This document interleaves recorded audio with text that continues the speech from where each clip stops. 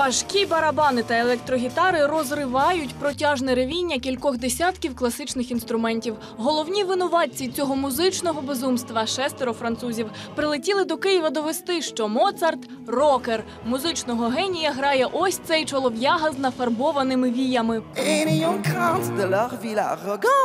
Так прикипів до образу, що фарбу на обличчі носить і в повсякденному житті. Я думаю, справжньою мрією Моцарта було випустити CD-диск, аби весь світ його почув. Але божевільні ідеї музиканта тоді не сприймалися. Тому я, коли працював над образом, додав до нього трохи від Пітера Пена, отакої задиркуватої постави. Окей.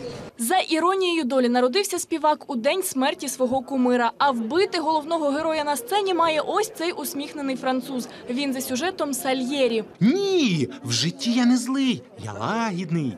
Дивись, я ж посміхаюся. І на плакаті, до речі, також. В Україні лише добу, а вже знає про гарних дівчат, борщ і горілку. Останнім уже посмакував. Так, учора ми пили горілку, але трішки, щоб краще співалося. Давай. Drink a little vodka and be good. А компонуватимуть співакам український симфонічний оркестр, хор і рок-гурт. Всього 110 музикантів. Аби звучати по-рокерськи важко, тягли за собою з Парижа 8 тонн музичного приладдя та підвладний увесь звук одній магічній паличці.